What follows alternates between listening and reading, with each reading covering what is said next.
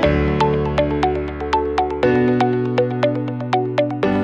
La sostenibilità in generale è una questione molto complessa che non può essere ridotta a semplice racconto di best practice, di pratiche siano esse agricole o siano esse commerciali. Nel caso di Alcenero la sostenibilità si basa su due pilastri fondamentali. Innanzitutto la dimensione della filiera e ovviamente la dimensione della responsabilità. Per noi filiera però ha un'eccezione eh, particolare, è eh, la creazione di uno spazio di relazioni vero che non abbia una, esclusivamente una dimensione verticale, orizzontale, che non si limita a seguire il flusso delle materie prime, il flusso eh, delle merci, il flusso delle informazioni che, che, accompagnano tutti gli scambi commerciali. È uno spazio in cui noi cerchiamo di far, con, eh, di far circolare prima di tutto conoscenze, dall'esterno verso l'interno e dall'interno verso l'esterno, provando a contaminarci ma avendo sempre presente un'unica direzione, che è quella di, di un'agricoltura pulita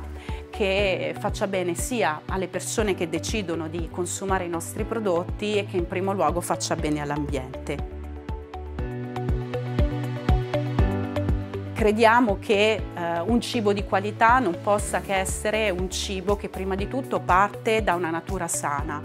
parte da un suolo sano e in questo diciamo che la nostra sfida del futuro è quella di cercare di contaminare il più possibile anche gli agricoltori e di diffondere il più possibile queste idee perché crediamo che oggi l'agricoltura debba fare un atto di coraggio. Il paradosso che stiamo vivendo infatti qual è? Che l'agricoltura da una parte è la principale responsabile del cambiamento climatico a livello globale ma dall'altra parte è anche l'attività che più risente di questi cambiamenti. E quando dico che dobbiamo provare a fare un'agricoltura coraggiosa intendo anche che prima di tutto abbiamo bisogno di un forte ricambio generazionale in agricoltura e in secondo luogo credo che anche gli agricoltori debbano essere portatori di una cultura nuova. Fare un'agricoltura coraggiosa significa rendersi conto in modo anche eh, sincero di quelli che sono gli impatti degli attuali modelli di agricoltura sul nostro, sul nostro mondo, sul nostro ambiente e cercare invece di capire che eh, quello che dovremmo fare è provare a